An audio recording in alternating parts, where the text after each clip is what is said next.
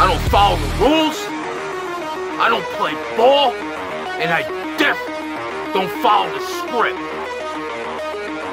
People come up to me and they say, You should really tone it down, doggy. Be safe.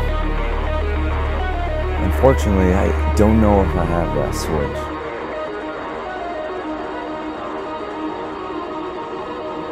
I'm a convicted felon with violent tendencies, and I don't give a fuck.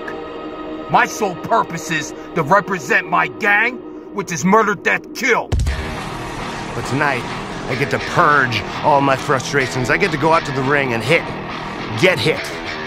Feel that adrenaline. Live on the edge of a lightning bolt. And for a year, I have struggled, and I have clawed, and I have scraped my way back up to the top to be taken seriously again.